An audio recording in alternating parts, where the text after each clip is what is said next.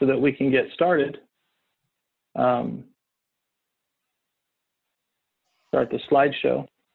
Um, how's everybody holding up in these times? Don't be afraid to use the uh, use the chat or unmute yourself if you have any questions or comments during the presentation. I um, just really appreciate everyone uh, being here uh, and, and being a part of this pre presentation. So, all right. I'm just going to scoot this over so we can kind of see what we're doing here. day by day, how are you? Doing okay? Uh, I'm an working intern. from home, I agree. Yep. I'm an intern, so I'm Oh. filling up on trainings. Yeah. it's that time, isn't it? So yeah. um, being able to attend a conference like this, uh, I wonder how many folks are in their pajamas attending the conference. That doesn't happen very often.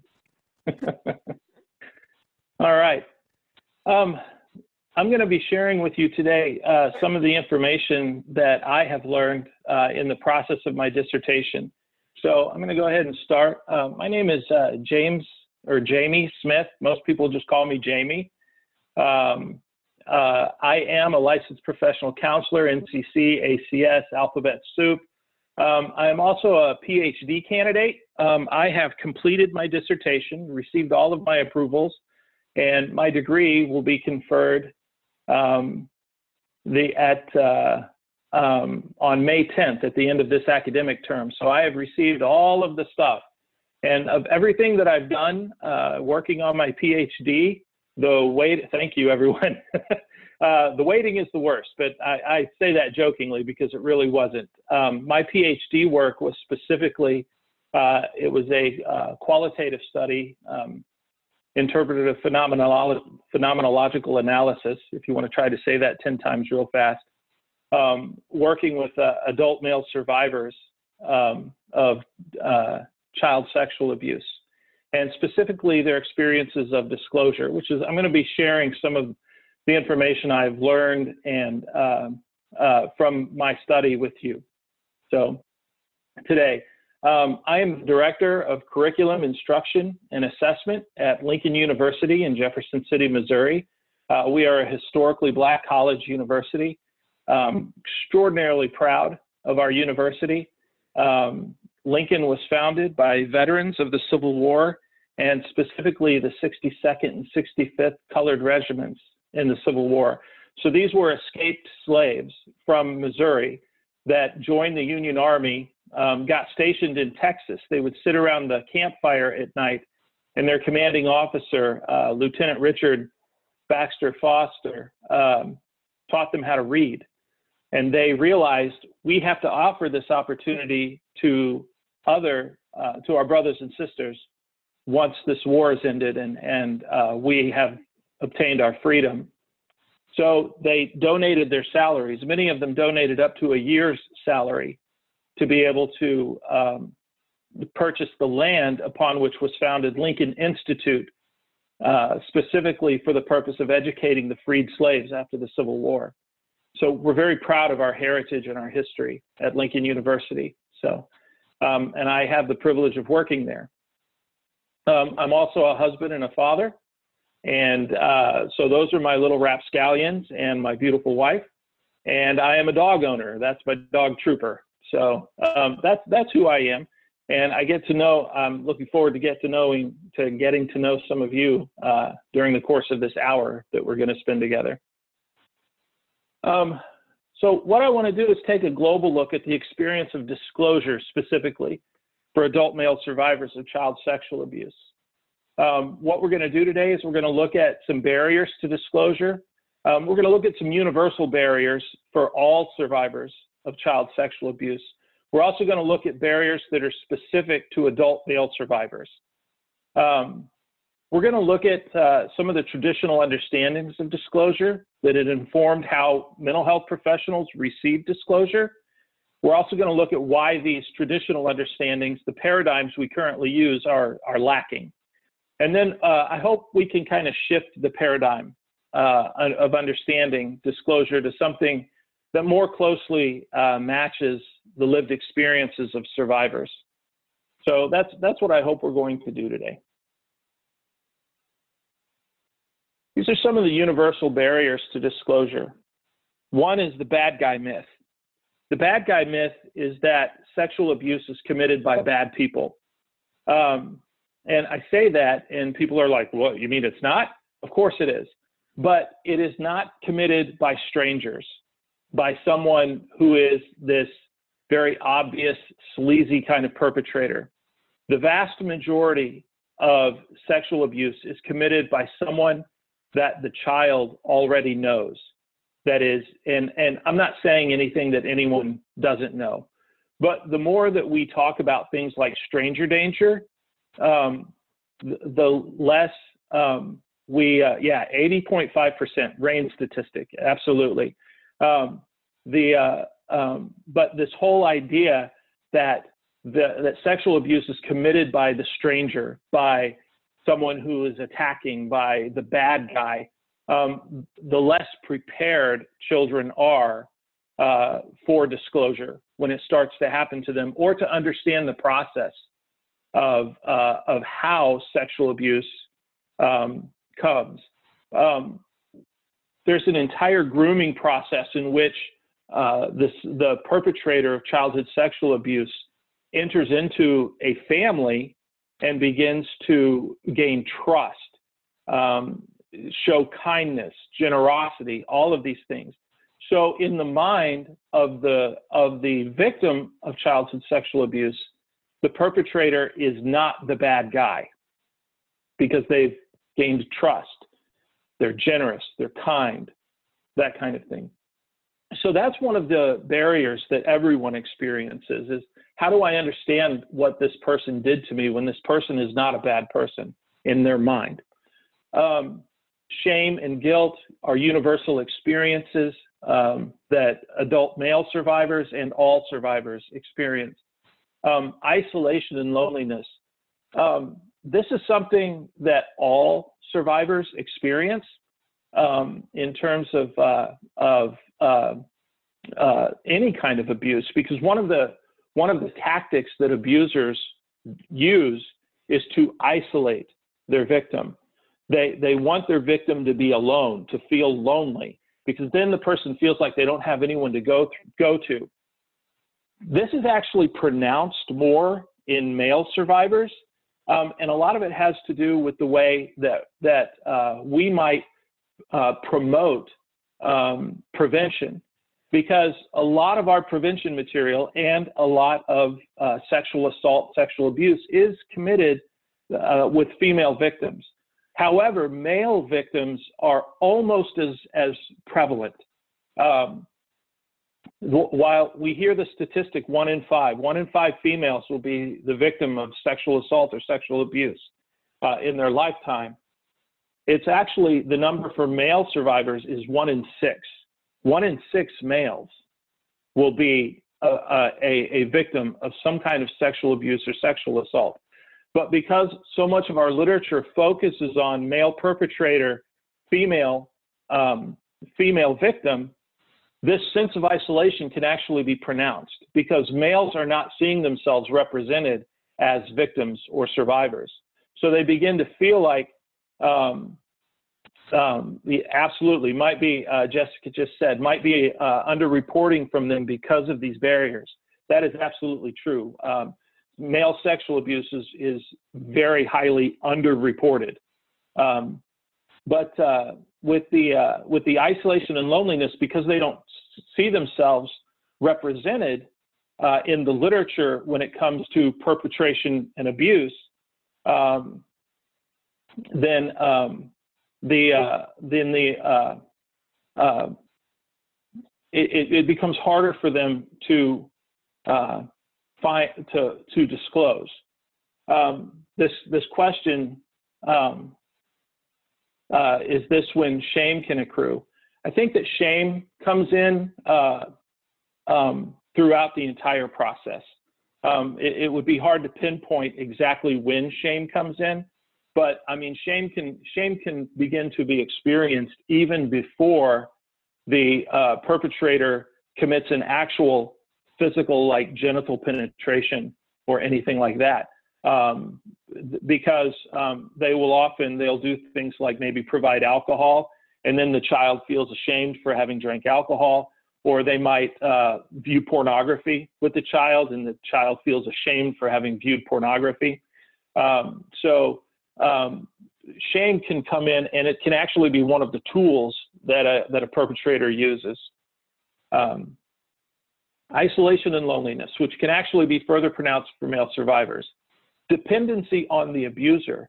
Um, if the abuser is a primary provider for the family, whether it's a father, a grandfather, an uncle, but if they get much of their material resources, then disclosing doesn't just mean that the abuser is going to be sent, but um, there are uh, the disclosing could also mean that uh, that the financial stability, the living situation, the the the uh, all of those things are um, are disrupted as well.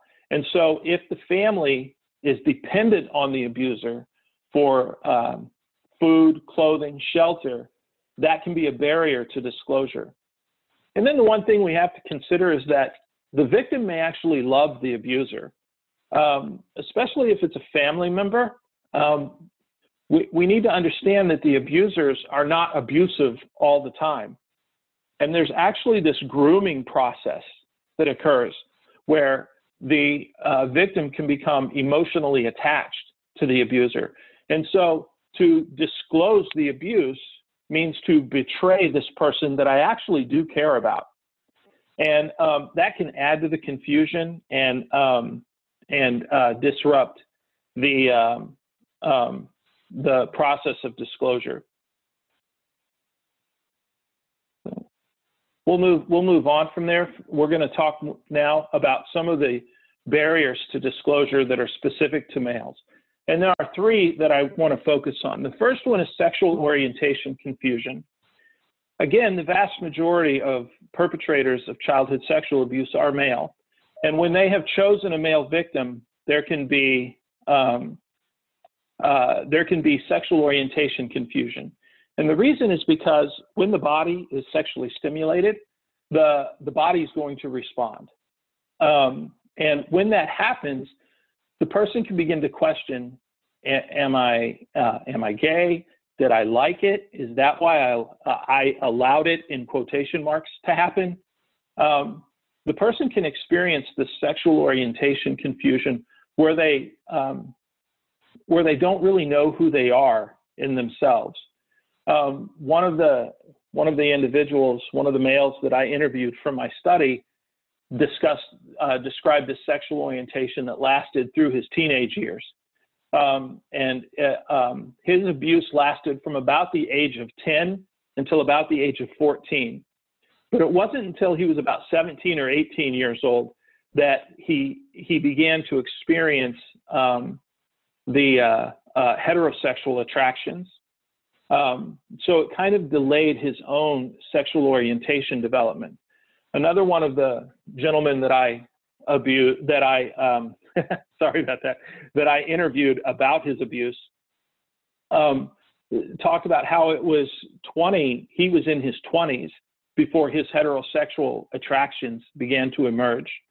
Um, the um, um for this person, his abuse started when he was about 11 years old, and it continued well into his adulthood. He had graduated from high school and gone and joined the army. And during this time, he continued to engage in homosexual activities um, with uh, soldiers that he was in the army with that were in his unit.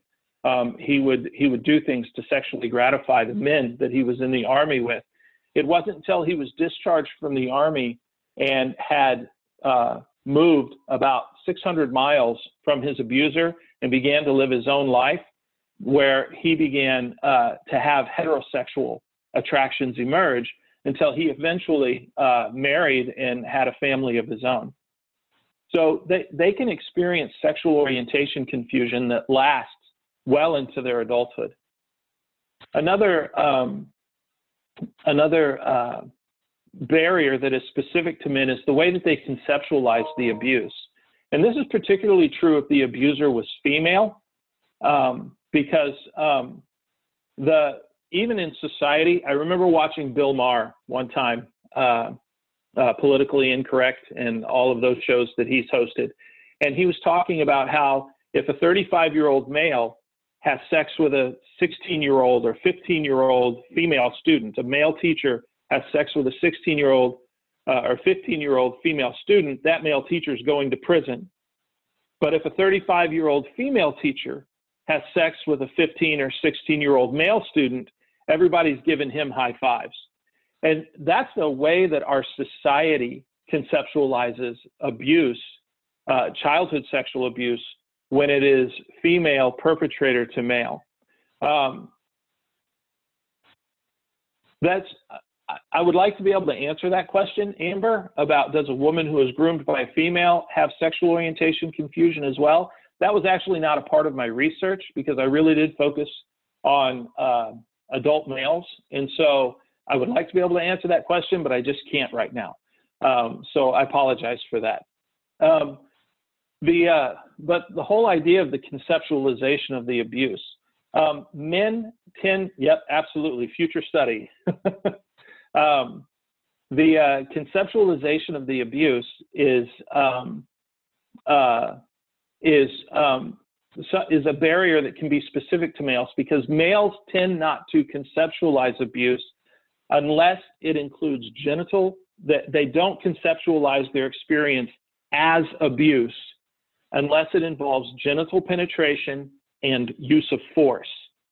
So other types of um, sexual contact between an adult and a, and a male child that doesn't involve genital penetration or use of force, a male will conceptualize as something bad that happened to me or something that made me feel uncomfortable, but they tend not to use the words abuse.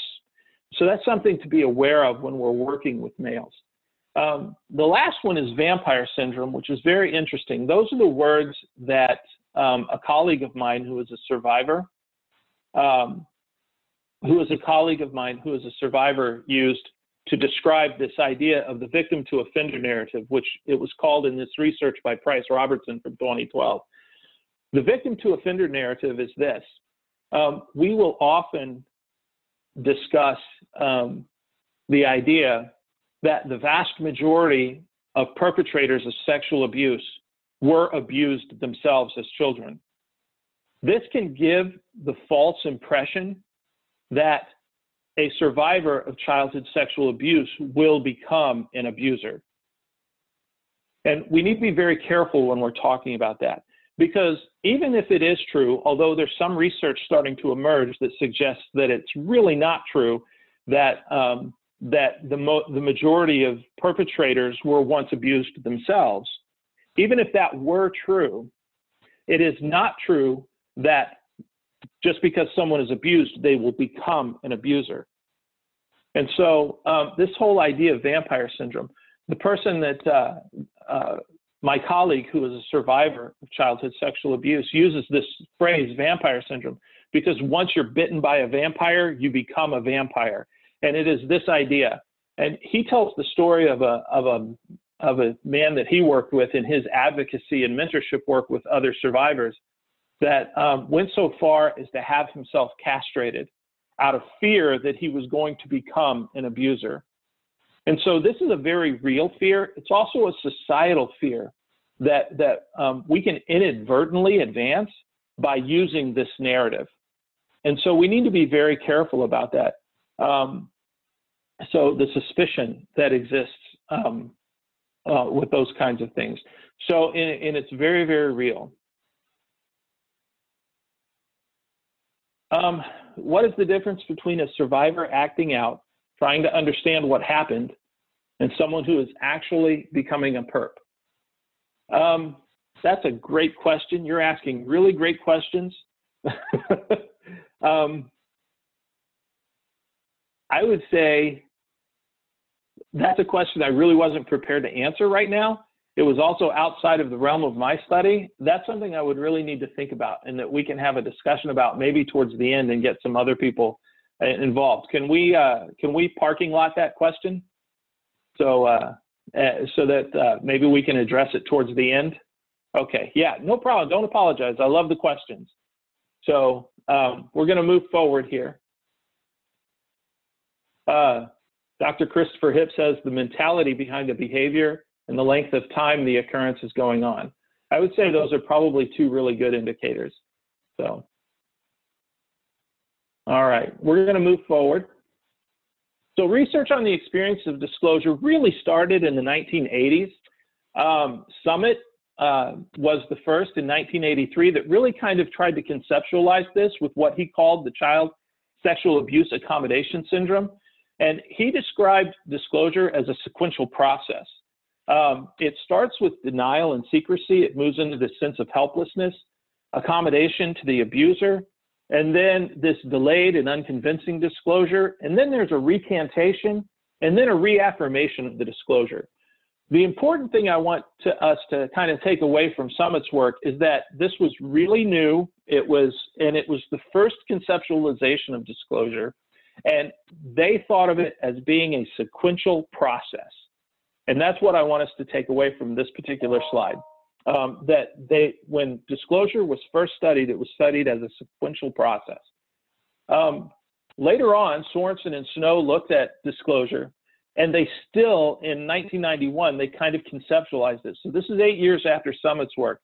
Um, but they believed it was more a spectrum of types within a sequence. And so you had denial, you had tentative disclosure, and then active disclosure, but it was still considered to be this um, this sequential process that a person went to went through. Um, Bradley and Wood, five years after Sorensen and Snow, began to think of disclosure. I'm going to move this. I don't know how many can see this chat window, but we're going to move it down here a little bit um, so that we can see what's going on here. Um, they began to see um, disclosure as more of a spectrum of types. So they began to um, uh, they they began to move away from the idea that there's this sequential process that people go through when they disclose, and rather disclosure happens as a spectrum of types from denial and non-disclosure all the way through active disclosure. Um, so uh, it was around the mid 90s that they began moving away from the idea of it being a sequential process. Um, whoops, click back onto here. So um, Anderson in 2016, he's, he continued to refine this concept of disclosure. And so he began to look at it in terms of you have denial and non-disclosure, and then you have delayed disclosure and non-delayed disclosure, and then you have different types of disclosure. So we're still looking at it as types on a spectrum rather than as a sequential process. And so you can have delayed unintentional disclosure or delayed active disclosure. Um, this testing the waters is where you maybe say a few things. There were some things that made me feel uncomfortable, but you, they haven't completely disclosed everything at this time. Um, you have tentative disclosure and active disclosure. And so um, there's, there's these different types of disclosure that can exist on this. There's some problems with these uh, with these types of disclosure.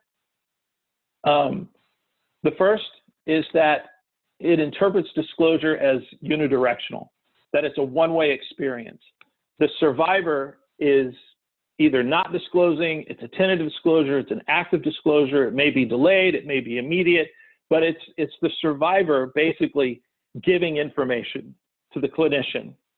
Um, the other problem with this is that it um, all of these paradigms were defined in work with children.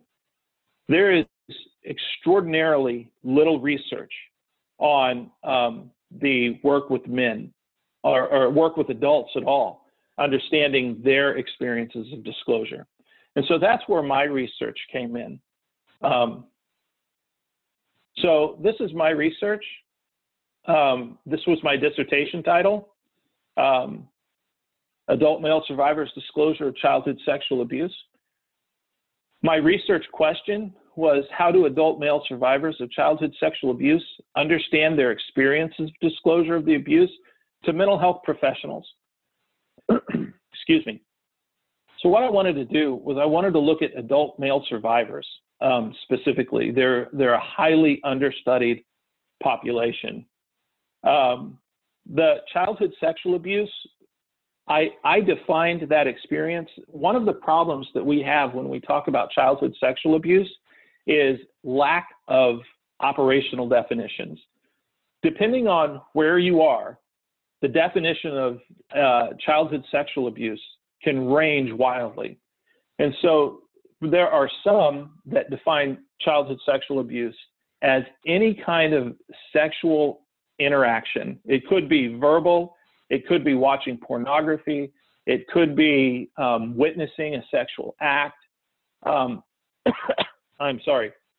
And then to the other side, there are some who will um, define uh, sexual abuse as only that which involved genital penetration. And so you have this extreme kind of spectrum.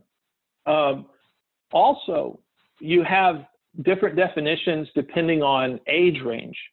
And so you have things like Romeo and Juliet laws, which may prevent uh, may prevent reporting from uh, of childhood sexual abuse. You also have um, uh, a, you also have age ranges within children, whereas a, a state may define childhood sexual abuse as only being able to somebody posted the link there to my dissertation. That's very nice of you. I think that's my dissertation. Um, but uh, some people might, uh, uh, some will define sexual abuse as um, only uh, as like if they're within five years, it's not really child sexual abuse. And so if you have a 13 year old and a 12 year old, they might not consider that child sexual abuse, or a 15 year old and a 13 year old. And so, um, um, and so there's uh, there's a lot of different uh, um, uh, definitions there. So um, that's part of the that's part, and then you also have the objective legal definitions, which vary widely from state to state, and subjective personal definitions. Um, and so there's all kinds of uh, there's all kinds of uh, um, differences in, in the definitions, and that makes it very, very difficult. For the purpose of my study, I define childhood sexual abuse as sexual abuse that began um, when the when the person was uh, uh, was prepubescent, so earlier than age 12 or earlier is how I defined that, and the perpetrator was an adult, age 18 and over because that is a more universally accepted definition of childhood sexual abuse. I wanted to make sure uh, I was looking at an experience that everyone would go, yes, that's childhood sexual abuse. Um, disclosure has to do with telling, and I wanted the person, the survivor, to be over age 18 before they disclosed to a mental health professional. So they may have disclosed to someone else earlier in their life, but they were over age 18 before they talked to a mental health professional. So those were some of the, um, also the perpetrator of the abuse was a male. So I wanted to look at that specifically as well. And I used interpretative phenomenological analysis, the six phase process, the way Jonathan Smith defined it um, in his book from 2009. so uh, moving forward, I'm going to share with you some of the themes that emerged um, from the uh, from my research.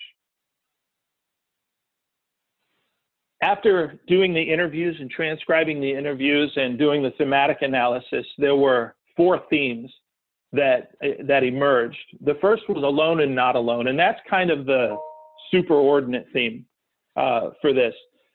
I'm sorry, one second. My throat's starting to get dry. Um,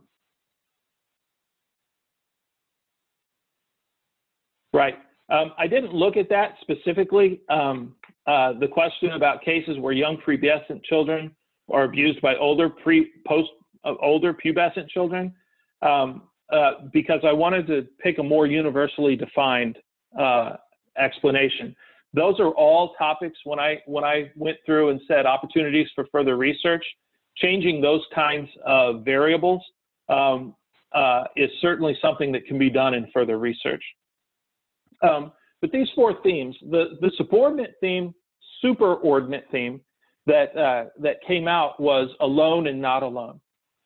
When these survivors were telling their stories, what came across um, uh, was this idea that this feeling of being alone and wanting to overcome their aloneness. Um, and so through that, they, there were some other things that emerged. The idea of throwing grenades. This was the way that one of the survivors that I spoke to described telling people. Uh, he was acutely aware of the emotional disruption that telling his story of abuse caused in other people. He was acutely aware of it, and he described it as throwing grenades in people's laps. Whenever he would disclose, he was throwing a grenade that would cause this disruption in the other person. One of the things that came out in the in the study also was this idea of monsters in the deep. This also goes along with the alone and not alone theme. Many of the survivors described this idea, all, all of the survivors that I talked to described this idea of having this thing inside of them that they didn't understand. It was almost like this thing had a volition of its own. It had its own um, its own will, its own behaviors, its own emotions, and it was deep inside of them. And what they were looking for was companionship to go into that deep place and confront this thing inside of them that they referred to. Um, the idea of monsters came out of their own language, um, monsters in the deep. And so they were looking for companionship to go into this deep place to confront these monsters that they saw inside of them, they described inside of them. Um, the last one was, that's not what I wanted. I was a little bit surprised by this one, but all three of the, uh, or all of the, uh, three of the folks that I interviewed described this experience of disclosing and then immediately having control taken away from them in the disclosure process and what the next steps were. So one of them described the uh, that he he had disclosed to his mother first, and her immediate response. This this gentleman had been abused by his grandfather. Her immediate response was to call the grandfather, call up all of his aunts and cousins, and bring them all together and confront the grandfather. He and he says, I didn't really want to do that, but that's immediately what happened. For the other one, it was actually uh, another one. Um, it was actually um, the therapist that took control and wanted to confront the abuser. So they went online and looked up who and looked up the perpetrator of his abuse and found where the person was. And he was eventually able to talk the therapist out of this confrontation. So there was no uh, there was no confrontation. Um, but the therapist immediately took that control.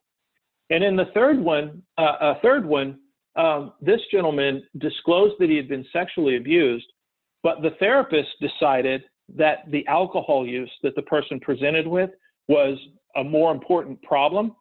And so the uh, I'm glad I'm getting these kinds of reactions in the chat.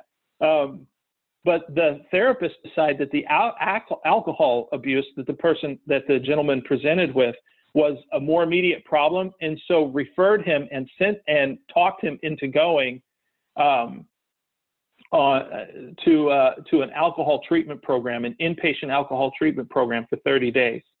Um, he says, that's not what I wanted. I, all three of them said, that's not what I wanted to happen afterwards. So just imagine that these men who were disempowered because of the abuse, their power had been taken away from them.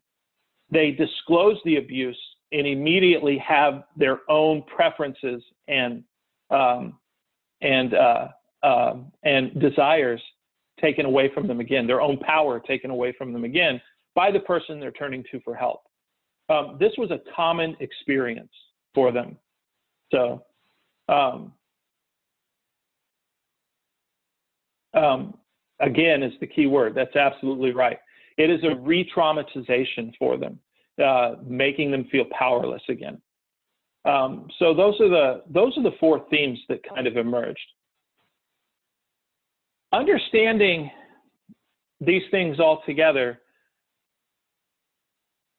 um, disclosure for um, these adult survivors is not a linear process. And that's, I, I, I want us to move away from this idea that it's linear and one directional, that the survivor is just telling a story to this passive recipient.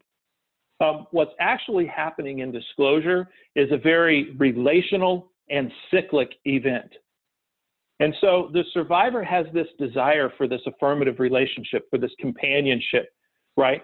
And and so they're telling the story. They're throwing grenades. They're inviting for they're they're asking for companionship for monsters in the deep. They're seeking empowerment in their disclosure. And the clinician's response uh, can go one of two ways. If it's an imbalanced affective reaction, and that imbalance could go either way, right? Um, imbalanced affective reaction. Absolutely. Disclosure is about validation and connection. That's a great insight there. Um, but it's if it's imbalanced either way. So if the if the uh, clinician is sitting there passive and doesn't react at all, the person is acutely aware of what's happening with the clinician. So if they don't see any reaction at all, they can interpret that as rejection or that it doesn't matter to this person. And so some kind of reaction is necessary in order for the person to feel that they've been heard. Um, so it, the, the, there has to be a balanced affective reaction in which the clinician owns their own. You know, uh, what you're saying to me, so as a clinician, I might respond, what you're saying to me is really upsetting, but I want you to know that it's me feeling upset and not and not uh, and not uh, that your story is overwhelming to me. Um, they're telling a horrible story. There should be some kind of reaction. We're human beings, right? If we dismiss, minimize, ignore, if we disempower, we have created a roadblock for that connection, that validation. However, if our response is um, Absolutely. This is why we all must do our own work so we can hear these stories. Thank you for pointing that out. Um, in this relational model, we often open ourselves up to vicarious traumatization. So we have to be doing our own work to make sure that if we do are experiencing vicarious traumatization, we're not imposing that on the clients that we're working with. Um, we're going to parking lot that question about male clients who seem ambivalent about disclosing. Um, well, no, we don't have to. The whole idea is that disclosure is, is going to happen over time. It's a cyclic process. And so as the client is met, they're going to disclose the amount that they want to disclose when they want to disclose it. And so if we meet them with this balanced affective reaction, with companionship, collegiality, and with empowerment, that's going to evoke more disclosure. And so it becomes this cyclic process. The clinician is not a passive uh, recipient, but an active participant in the active disclosure. The clinician is an active participant in the disclosure. And so when a client is ambivalent about disclosing, that's okay. They're disclosing the amount that they are comfortable disclosing when they are comfortable disclosing it. And as long as we can meet them with that balanced affective reaction, companionship, collegiality, and empowerment, that will evoke more disclosure so that it becomes this process. so, um, we've got some motivational interviewing coming out in the comments over here. So that's great. Um, um, I, I, I, would be very happy. I'm going to put my email address here. Um, if you would like the slideshow, shoot me an email address.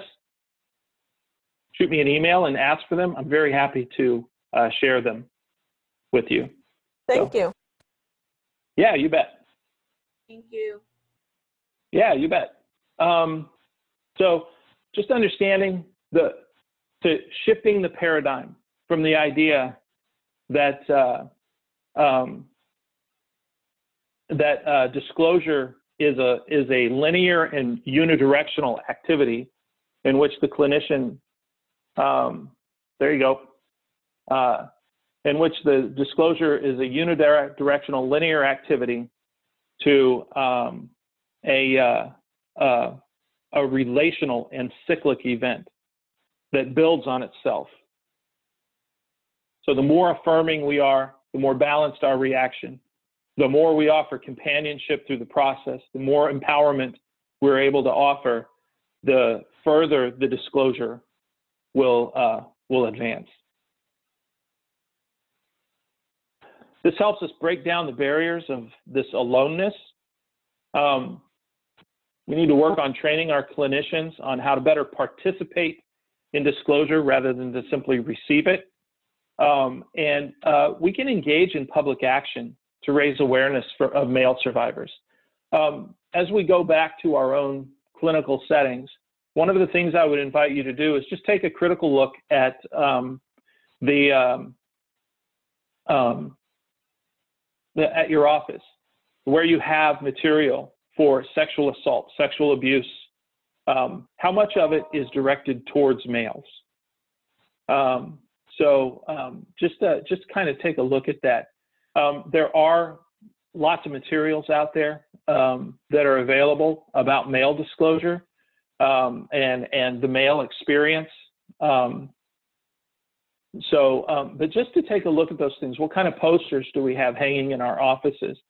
Simple things like that can help break down um, uh, the uh, can help break down the. Um, I I do have recommendations, but they are they just went right out of my head because probably specifically because you asked, Brian. so um, let me think about that, and I'd be happy to email those out too. Um, there's a, a book, um, I think it's called, what's it called? What to do when someone you love was abused. I think that's what it's called. So, um, but uh, all of these things, I will be happy to send those kinds of resources out. But looking specifically at uh, um, at, at how we are doing, how we are publicizing and talking publicly about sexual abuse. Is our language inclusive? Is our sexual education inclusive of male experiences? So these are all things to just to take into account when we're doing this to help break down those barriers of aloneness. Um, I think that's it. Um, I'm very happy to answer questions, have have conversation. Um, Amber, the one question that you asked, which is way up in the chat line now, we could probably return to at this time if you wanted to ask again. But uh, I'm very happy to. Uh, uh, I'm going to stop sharing my screen and get back into the bigger one here. Um, so anyone that would like to ask questions, or we have probably about five, five, ten minutes, I think.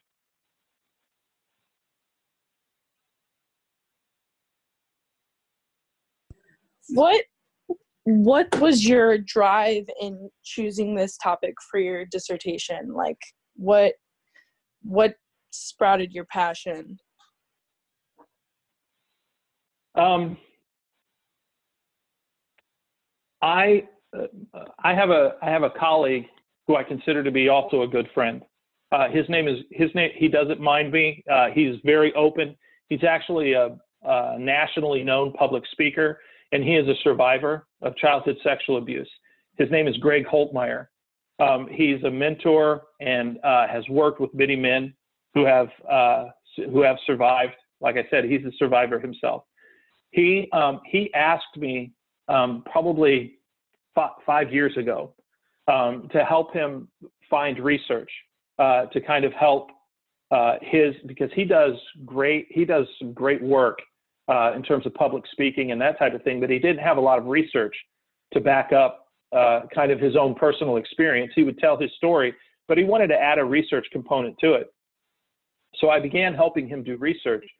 And that's when I began to learn or began to realize that there really is very little research on um, uh, ad- adult experiences and specifically adult male survivors' experiences of child sexual abuse and disclosure.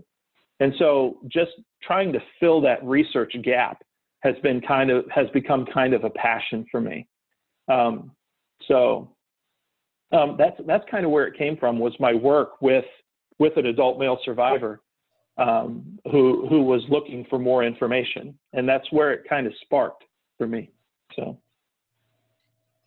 Um, I think my question, if I remember it, because it was all the way up, was I guess I should word it probably a different way. Was what are some warning signs um, between somebody who, like a male survivor, who is trying to understand what is going on with them? Like, for example, maybe like a um, in his adolescence, he may have experimented trying to understand or even voice his disclosure versus somebody who has is at risk of becoming a perpetrator if that makes sense. some of it has to do with when we get into a, a perpetrator's frame of reference. A perpetrator, you know, um, abuse and any type of abuse.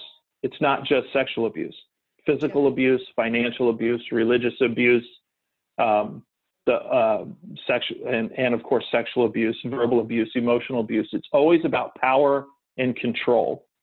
And so those are the kinds of things that, for me, would be red flags that someone is engaging in some type of abusive behavior. Um, trying to understand a person's body and inclinations is going to sound different than somebody who is expressing frustration because people are are are out of their control. And so um, that's that's kind of the things, the red flags that I would look for is how is this person responding to the stress of um, of things that are not within their control. I don't know if that makes sense or if that's No, that does. So it's almost like listening to the certain vocabularies, maybe how they carry themselves when they're disclosing or discussing it. it it's the reading between the lines. right. Yep. Yep. Um, someone asked, how do we balance safety of working on trauma while someone is using substances so they can get the help they need without disempowering them? We have to make sure that we're offering them the choice of how they want to proceed in their treatment. Um,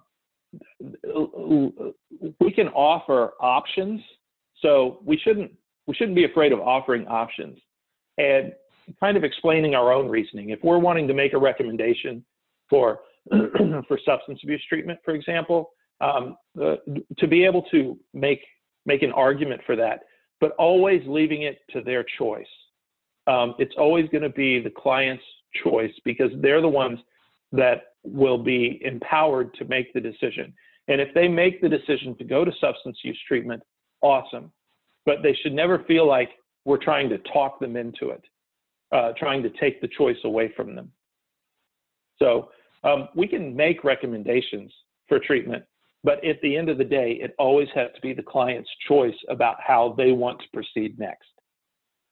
So there's some, uh, James asked about emerging research on perpetrators not having a history of victimization. They're doing this through, and you can take this with a grain of salt, however you feel about like the whole lie detector test kind of thing. But one of the things that they're ask, that they're doing is researching and uh, using these um, uh, lie detector tests to um, to try to determine whether a person's self-report of their history is accurate or not. And so it's it's emerging, it's brand new. Um, I've only seen maybe one or two studies with it. Um, I didn't even include that really in my own dissertation because it is just so new. I'm not real sure about it yet, but that's that's some of that. Uh, that's how some of that is coming apart. Uh, people that were saying that they were sexually abused they're hooking them up to lie detectors basically and asking them to tell their story. So um, you can take that for what it's worth.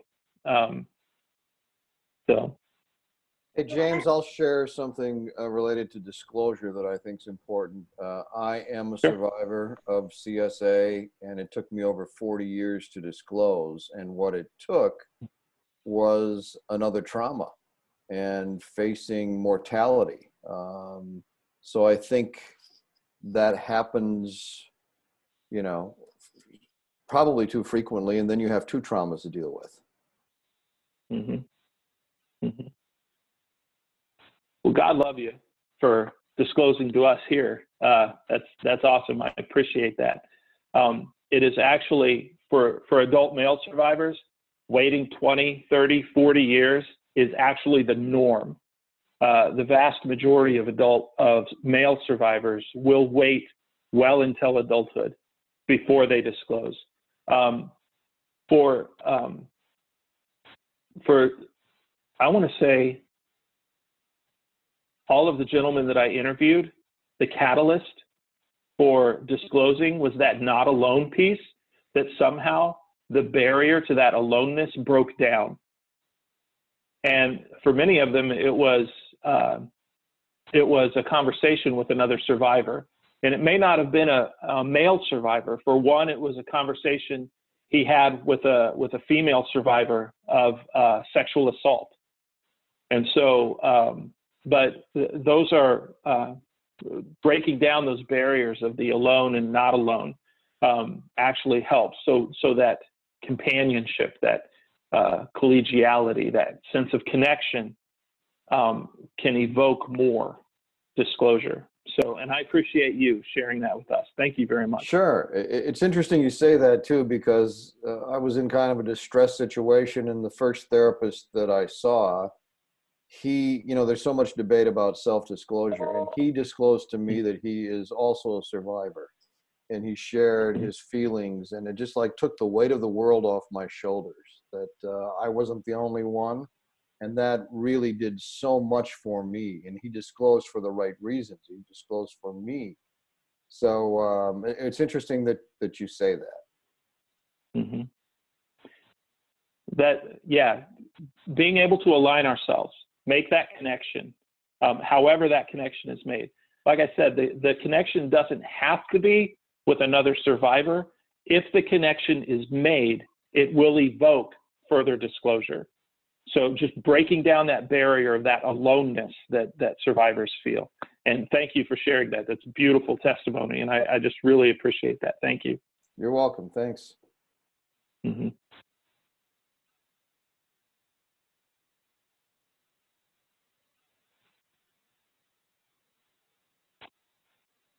Getting some getting some affirmations of that of that idea in the uh, in the chat right now. So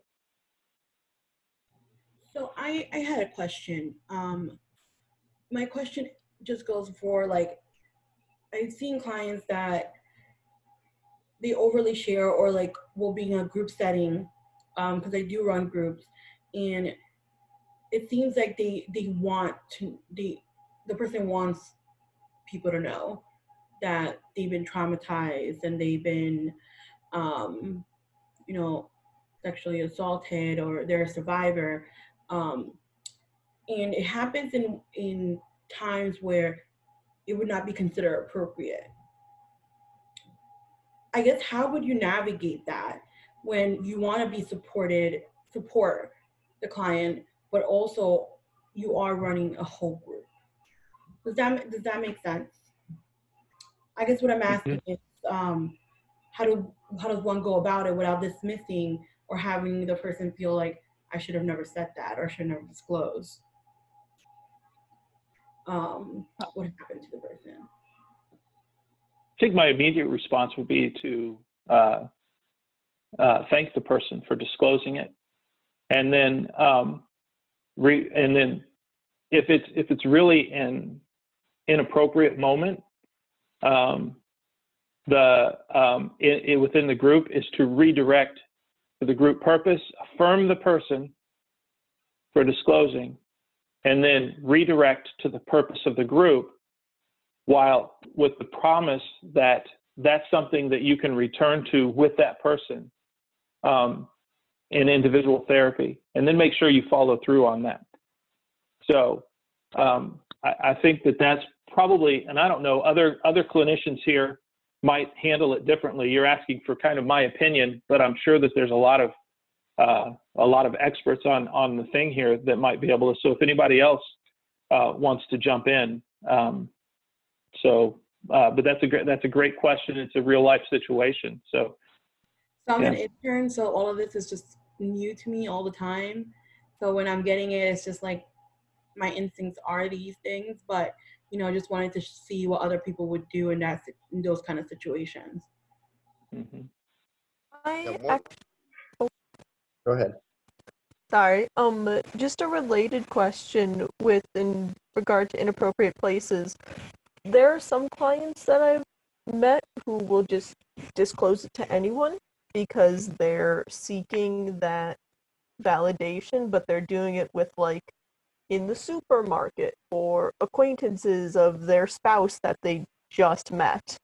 And I'm I'm struggling with how to balance showing them that it's okay to to disclose and all that and not reinforcing what they've been taught but also you know talking about it in the pet store might not be the most appropriate place with someone that you just met and who like shake your hand kind of level of just met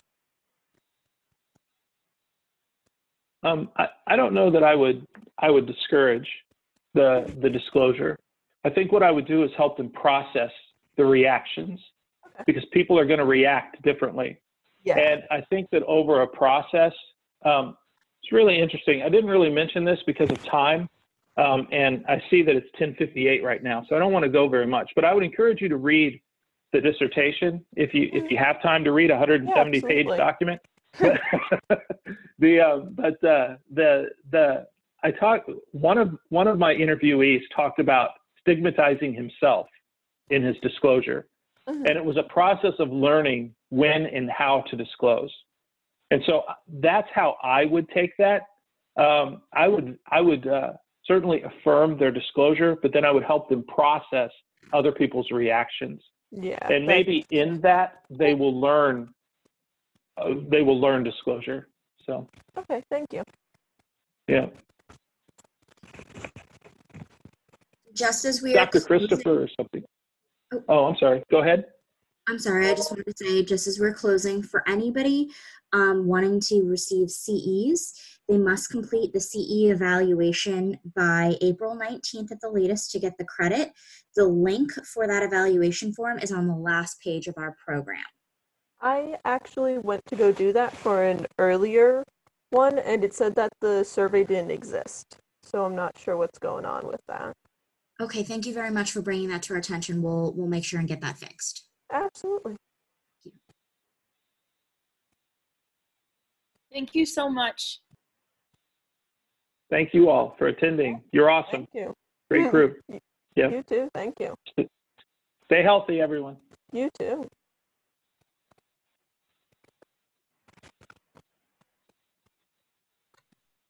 Grace, are we okay to start?